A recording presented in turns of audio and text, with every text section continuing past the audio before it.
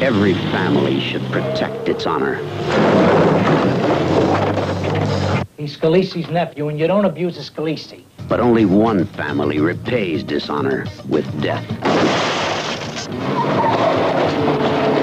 At the hands of the family enforcer. I don't want violence. I don't want you breaking his arms or shooting him or whatever you people do. Go tell it to a tombstone. Family Enforcer. The highly skilled professional with the tools for every occasion. Just give me a couple of days in the woods with you, and you'll see what I mean.